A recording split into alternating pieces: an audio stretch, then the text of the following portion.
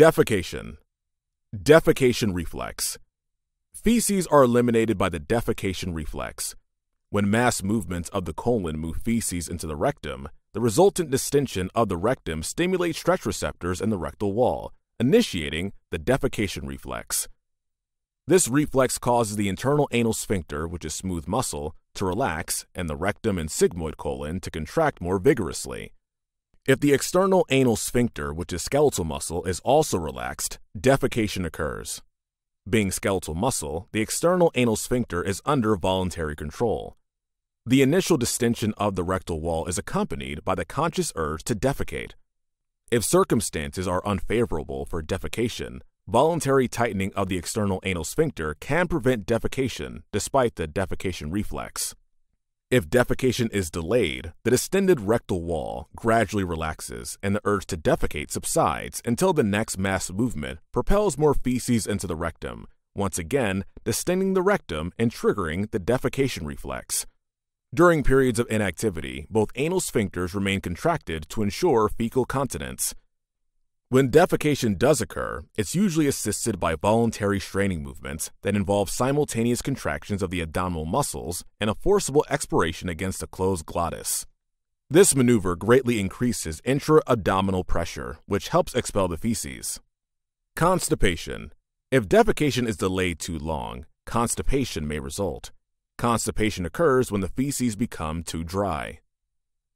When colonic contents are retained for longer periods of time than normal, more than the usual amount of water is absorbed from the feces, so they become hard and dry. Normal variations in frequency of defecation among individuals range from after every meal to up to once a week. When the frequency is delayed beyond what is normal for a particular person, constipation and its attendant symptoms may occur. These symptoms include abdominal discomfort, dull headache, loss of appetite, sometimes accompanied by nausea, and mental depression. Contrary to popular belief, these symptoms are not caused by toxins absorbed from the retained fecal material. Although bacterial metabolism produces some potentially toxic substances in the colon, these substances normally pass through the portal system and are removed by the liver before they can reach the systemic circulation. The symptoms associated with constipation are caused by a prolonged distension of the large intestine, particularly the rectum. The symptoms promptly disappear after relief from distension. Possible causes for delayed defecation that might lead to constipation include ignoring the urge to defecate, decreased colon motility accompanying aging, emotion, or a low bulk diet, obstruction of fecal movement in the large bowel caused by a large tumor or colonic spasm, and impairment of the defecation reflex. If hardened, fecal material becomes lodged in the appendix. It may obstruct normal circulation and mucus secretion in this narrow, blind ended appendage. This blockage leads to appendicitis. The inflamed appendix often becomes swollen and filled with pus, and the tissue may die as a result of local circulatory interference. If not surgically removed, the diseased appendix may rupture, spewing its infectious contents into the abdominal cavity. Feces. Fecal material normally consists of 100 grams of water and 50 grams of solid, including undigested cellulose, bilirubin, bacteria, and small amounts of salt. Thus, contrary to popular thinking, the digestive tract is not a major excretory passageway for eliminating waste from the body. The main waste product excreted in the feces is bilirubin.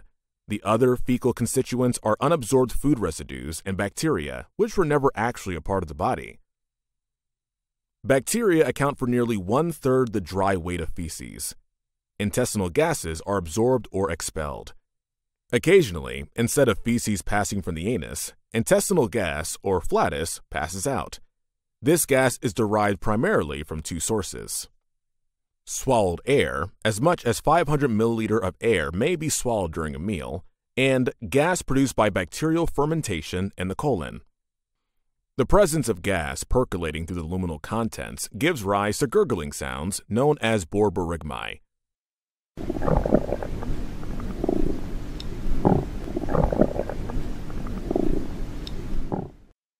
Eructation, burping, removes most of the swallowed air from the stomach, but some passes on into the intestine. Usually, very little gas is present in the small intestine because the gas is either quickly absorbed or passes on into the colon.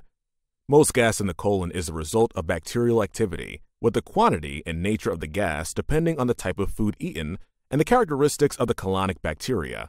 Some foods, such as beans, contain types of carbohydrates that humans cannot digest, but that can be attacked by gas producing bacteria. Much of the gas is absorbed through the intestinal mucosa. The rest is expelled through the anus. To selectively expel gas when feces are also present in the rectum, the person voluntarily contracts the abdominal muscles and external anal sphincter at the same time.